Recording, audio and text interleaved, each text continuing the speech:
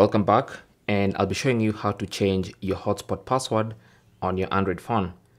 For this tutorial, I'll be using a Samsung Galaxy phone running Android 14. So what you want to do is go to the main settings page and then go to connections.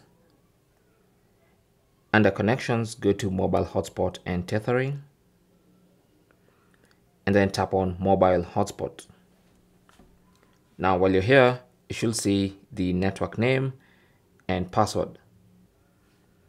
So to change the hotspot password, you can just tap on password and edit the password that's there. You can remove whatever is there and type in your own password.